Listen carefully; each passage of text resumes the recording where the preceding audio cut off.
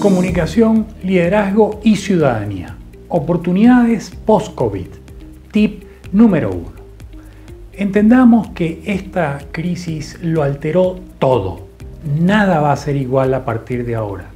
Todos somos diferentes y todo va a ser muy diferente. Por ejemplo, en el caso de los gobiernos, los presupuestos en esta crisis quedaron arruinados porque hubo que invertir muchísimos recursos en cosas que no estaban previstas. Pero adicionalmente a eso, las necesidades se multiplicaron. Entonces, no podemos volver atrás. Nos toca avanzar, nos toca establecer nuevas prioridades y los gobiernos tienen que hacer eso.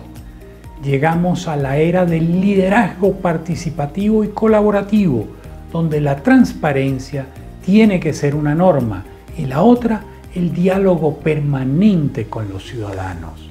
Hay que atreverse a romper paradigmas.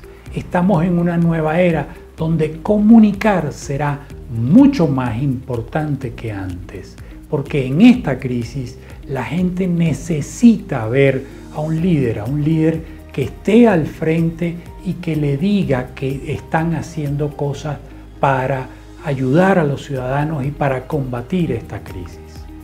Entonces, lo que sucede ahora es que si antes era importante comunicar, ahora comunicar va a ser vital para gobernar y sobre todo, reitero, el diálogo permanente con los ciudadanos. Porque si usted no se comunica, no existe. Y si no existe en la mente de los ciudadanos, usted no está gobernando y los ciudadanos se sienten en total indefección, en total este, abandono. Y eso no es posible porque usted es el que dirige el gobierno.